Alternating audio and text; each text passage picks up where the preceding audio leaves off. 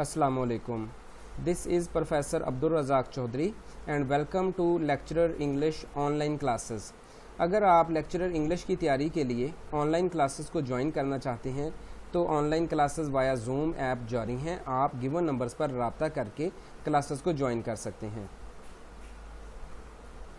जी अगर आप आ, आ, किसी भी सब्जेक्ट में लेक्चरशिप की तैयारी करना चाहते हैं और उसके लिए आपको गाइडलाइन चाहिए कि तैयारी का आगाज़ कहाँ से किया जाए और चीज़ों को लेकर कैसे चलें और उसका एंड कैसे किया जाए। तो इन तमाम मौजूद के ऊपर गाइडलाइन जो है ये मेरे यूट्यूब चैनल के ऊपर अवेलेबल है। ये चैनल का लिंक जो है ये आपके सामने दे दिया गया है। ये मैं आपको खोल कर दिखाता हूँ। ये हम इसको क्लिक करते हैं लिंक को। तो ये आपके सामने जो है चैनल ओपन हो रहा है। काशान सर्विसेज़ एकेडमी के नाम से ये चैनल है। इसके ऊपर मैंने एक सीरीज़ ऑफ़ लेक्चर्स जो है वो डिलीवर की है, जिसमें तमाम जो एरियाज़ हैं लेक्चरशिप के मतलब उन तमाम एरियाज़ के ऊपर जो है वो बात की गई है।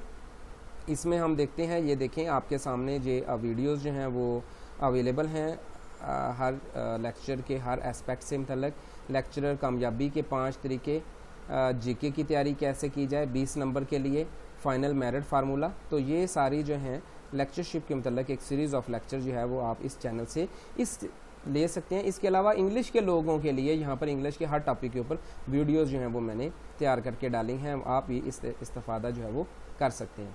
जी, अब हम बात करते हैं एकेडमी की रूटीन के बारे में कि काशान सर्विसेज़ एकेडमी में जो लेक्चरशिप की तैयारी चल रही है, उसकी रूटीन क्या है? जी there will be two sessions of Zoom app रोज़ाना दो सेशंस होंगे जूम ऐप के 9 PM to 10:30 PM Thursday and Saturday will be presentation by the candidates आप लोग प्रेजेंट करेंगे। आप लोगों को दो ग्रुप्स में डिवाइड किया जाएगा। एक ग्रुप थर्सडे को और एक ग्रुप सैटरडे को प्रेजेंट करेगा। फ्राइडे विल बी ऑफ़ और टॉपिक्स जो हैं वो आपको एडवांस में बता दिए जाएँगे। और बाकी जो दिन हैं, उनमें लेक्चर होंगे डिस्कशंस होंगी क्विजेज होंगे और आपकी उसमें पार्टिसिपेशन होगी। You will not be uh, the passive listeners. In fact you will be the active participants within the class. You will learn by teaching. Discussions होंगी आपकी पार्टिसिपेशन इसमें होगी। जी स्टडी ऑफ़ वर्क्स सबसे पहले हमने बात करनी है इंग्लिश के हवाले से कि डिफरेंट वर्क्स हैं नावल ड्रामा पोइट्री उस वर्क्स को हमने स्टडी कैसे करना है? देखें आपने अपने कोर्स वर्क में चंद वर्क्स पढ़े हैं। अब आपने टेस्ट की तैयारी के लिए बहुत सारे और वर्क्स को पढ़ना है। हमने डिफरेंट यूनिवर्सिटी से आ, लोग एमए करके आते हैं पंजाब लेवल पर उन्होंने डिफरेंट कोर्सेज को पढ़ा होता है। तो यहाँ पर अब जितने फ़ेमस वर्क्स हैं जो डिफरेंट यूनिवर्सिटीज़ में हैं वो सारे आपने पढ़ने हैं। उनकी लिस्ट जो है वो आपको फ्राहम कर दी जाएगी और उसके अकॉर्डिंगली आपने उनकी स्टडी करनी है। इस तरीके से linguistic terms grammatical terms poetical terms और ड्रामेटिक टर्म्स ये आपने अब सारी करनी है। जो आपने कोर्स वर्क में क्यों है उससे हट जो फ़ेमस और बेसिक टर्म्स हैं उनकी भी तैयारी आपने करनी है। देन आपने वर्क्स को कैसे करना है? देखें, सबसे पहले आपने वर्क्स की पढ़नी है समरीज आप इंटरनेट से समरी पढ़ लें आप किसी बुक से समरी पढ़ लें जहाँ से मर्ज़ी पढ़ लें आपने उसकी समरी को रीड करना है और उसमें क्या चीज़ आपने मेमोराइज करनी है? सिचुएशंस इवेंट्स प्लेसेस करेक्टर्स और स्पेशली फोकस करना है आपने माइनर करेक्टर्स पर। ये नीचे लिखा हुआ है फोकस ऑन माइनर करेक्टर्स बाज़ दफ़ा माइनर करेक्टर से वो सवाल पूछ लेता है। देखें तकरीबन 80 परसेंट पेपर जो है वो आपका समरीज में से आता है। समरी में करेक्टर्स के सिचुएशंस में से आता है। देखिए, अभी 2018 के पेपर में सवाल आया था कि जब फ़र्स्ट टाइम डार्सी ने अलिजबथ को प्रपोज किया तो कहाँ प्रपोज किया? तो वो उसने प्रपोज का अब देखिए, अब इस सवाल में सरफेस लेवल का सवाल है, कहाँ प्रपोज किया। अब इसमें कौन सा फलसफा या कौन सी थीरी है? कुछ भी नहीं है।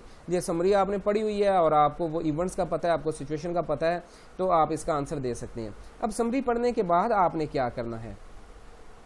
अच्छा ये थोड़ा सा और देखने समरी के हवाले से कि वहाँ से आप इंटरनेट से समरीज पढ़ सकते हैं। और ये एक वेबसाइट है server triple five server triple five पर 130 प्लस जो इंग्लिश के फ़ेमस वर्क्स हैं, वो उर्दू ऑडियो में अवेलेबल हैं। तो इनकी समरीज वहाँ से आप उर्दू ऑडियो में से सुन सकते हैं। बज़ दफ़ा हमें कुछ चीज़ हम पढ़ते हैं, वहाँ तैयार होती है और अगर हम उसको सुन लें तो फिर वो ज़्यादा अच्छे तरीके से तैयार हो जाती है।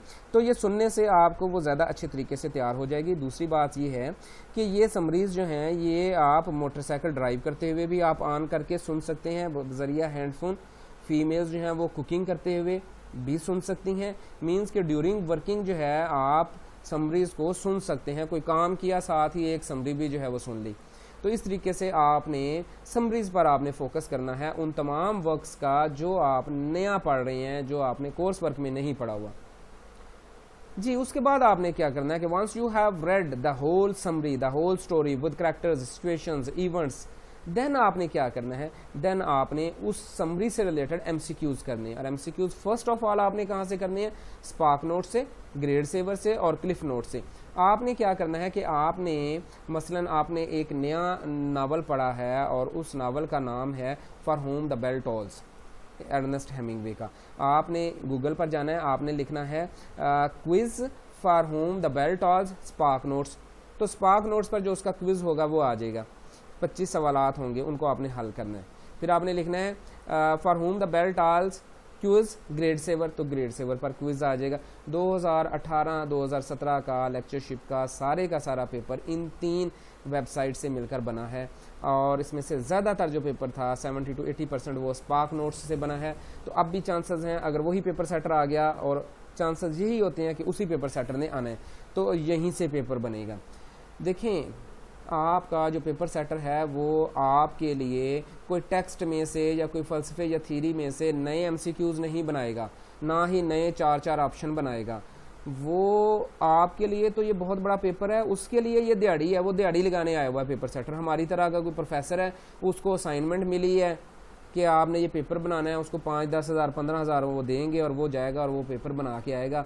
अब पेपर जब वो बनाएगा तो क्या वो इतनी मेहनत करेगा कि नए ऑप्शंस क्वाइन करे और नए सवाल बनाए? No he he will pick the MCQs from the already constructed MCQs those are present in this universe जो इस यूनिवर्स में एमसीक्यूज तख्लीक हो चुके हैं, वो उन्हीं से लेगा। नए एमसीक्यूज बनाना बहुत ही मेहनत तलब काम है और इतनी मेहनत वो नहीं करते। ना उनको इतना मुआवजा मिलता है। ये प्रोफेसर लोग सीनियर लोग होते हैं, ये बड़े मसरूफ तरीन लोग होते हैं। तो वो क्या करेगा? वो कोई बुक उठाएगा इंटरनेट से लेगा, वो कहीं ना कहीं से बने हुए एमसीक्यूज उठाएगा, या दो तीन बुक्स लेगा, उनको मिक्स करके दे देगा। तो एमसीक्यूज हालाँकि सिनोनिम एंटोनिम्स हमेशा जो हैं, वो ऑलरेडी जो बुक्स मार्केट में पड़ी होती हैं, जो आपकी इंटरनेट है, वहीं से आते हैं। जिस तरह ये 2017 का, ये सारे का सारा इन तीन वेबसाइट से आ गया तो हमारा जो अब प्रेफरेंस है, वो ये तीन वेबसाइट होनी चाहिए वर्क्स के हवाले से। जी इसके बाद टर्म्स जो, जो आपने वहाँ नहीं पढ़ी या पढ़ी हैं सारी टर्म्स आपने करनी है उनके ऊपर आपको लेक्चर्स डिलीवर होंगे आपने उनको अंडरस्टैंडिंग डेवलप करनी है उनको समझना है और एग्जांपल्स के साथ तैयार करना है और साथ साथ जिन दिनों में आपने उनको करना है साथ साथ आपने उनके एम करने हैं ऑनलाइन करें या बुक्स में से करें। इस तरीके से आपने M C Qs is the way to success मतलब थ्योरेटिकल नहीं पढ़ना कंसेप्चुअल नहीं पढ़ना कंसेप्चुअल पढ़ें लेकिन एम की शक्ल में पढ़ें। Don't read any text text पढ़ने की आपको ज़रूरत नहीं है. That is time wastage don't read any complex theories theories की फलसफे की ज़रूरत नहीं है. Don't read any subjective question देखिए, आपने सब्जेक्टिव सिर्फ़ वहाँ पर जाकर पढ़ना है जहाँ पर आपको किसी एम की समझ नहीं आ रही. आपको बैकग्राउंड नॉलेज की ज़रूरत है. तो वक्ती तौर पर इंटरनेट पर जाएँ और उसको पढ़ दें बाकी आपको किसी बुक का टेक्स्ट या इसको पढ़ने की ज़रूरत नहीं है, आपने जस्ट समरीज पढ़नी है और एमसीक्यू सॉल्व करनी है। समरीज भी एम सॉल्व करने के लिए पढ़नी है, वरना अगर एम सी बगैर समरी पढ़े हुए सॉल्व हो जाएँ तो फिर बगैर पढ़े हुए हमें करने चाहिए, लेकिन एम समरी पढ़े हुए बगैर जो है वो सॉल्व नहीं हो सकते, बहुत मुश्किल है, वो मेमोराइज नहीं होंगे। जी बुक्स कौन सी रिकमेंड करनी है? बुक्स जो मार्केट में पड़ी हुई हैं, ले लें। पहले एक लें, उसको पढ़ लें मुकम्मल, याद कर लें रिपीट कर लें, फिर दूसरी लें, उसको कर लें। इस तरीके से स्टेप बाय स्टेप जो है, वो आप करते हैं सबसे पहले जो बुक आपने लेनी है, वो एम्पोरियम की लें और इल्मी की लें। ये दो बुक्स ले लें। ये जब हो जाएँ तो फिर तीसरे नंबर पर डोगर्स ले लें, फिर कारवान ले लें, फिर भट्टी भी ले लें। बेशक जो आपको बुक मिलती है एम की, वो ले लें। देखिए, हमें नहीं पता कि पेपर दो महीने बाद होने हैं तीन बाद होने हैं चार बाद होने हैं। बाज़ दफ़ा एक भर्ती में एक साल भी लग जाता है। बाज़ दफ़ा दो साल भी लग जाते हैं।